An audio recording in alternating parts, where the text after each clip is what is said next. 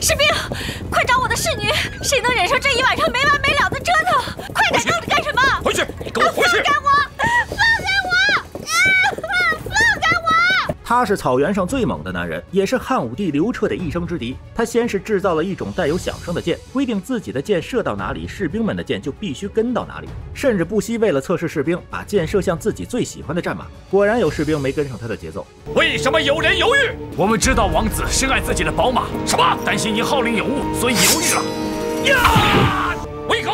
这就是不执行本王子命令的下场。伊志邪又试了几次，这下无论他的剑指向哪里，大家都会追随。但伊志邪却依然不放心，于是他叫来自己的妻子，让他连夜绣一面旗，明天一早我就要用。可妻子辛苦一夜做好狼旗，迎接他的却是一只带着响声的鸣笛。还没等他反应过来，就被士兵们射成了马蜂窝。刚才没有发现的，站出来！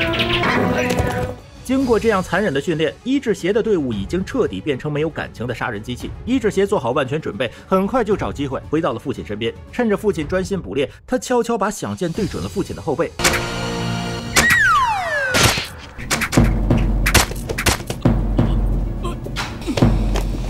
眼看父亲当场咽气，伊志邪立刻带队回家报丧，靠着绝对的武力优势，顺利成为匈奴的大单于。他不再奉行和汉朝的和亲政策，而是不断袭扰边境，逼大汉和谈，再派使臣向汉武帝讨要更多的好处。